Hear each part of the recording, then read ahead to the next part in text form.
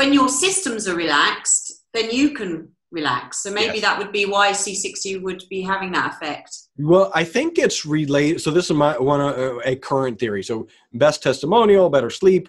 Um, if it's a great antioxidant, and it is 172 times more powerful than vitamin C. If it's a great anti-inflammatory, and it is, then maybe what happens when you sleep? We know the body's healing itself while you're sleeping. If if those two, you know, maybe the first thing on your sleep checklist, your body sleep checklist is take care of inflammation, take care of these uh, free radicals that are floating around the body, and then move on to the next processes that I need to cover.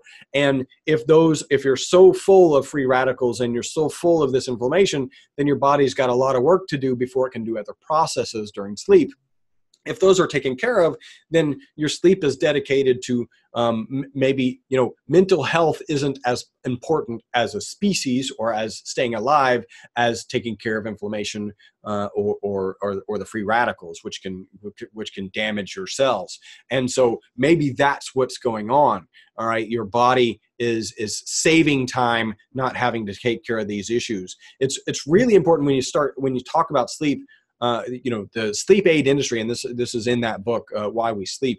The sleep aid industry is a $2 billion industry and most of the sleep aids just knock you out. Like what you know if i hit you on the head with a hammer and you're unconscious do you really wake up you know in six hours and feel like well that was a good night's sleep? No you may not need more sleep but your body hasn't done the healing the NREM and the REM sleep that it's supposed to do at night because you've just been knocked out. Uh, Ambien is probably the best known.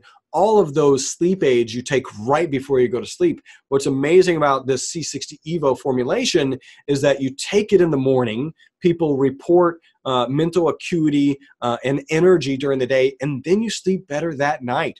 I've never, I don't know if you guys, I've never heard of anything that was like, hey, you want this great sleep aid? Take it when you wake up.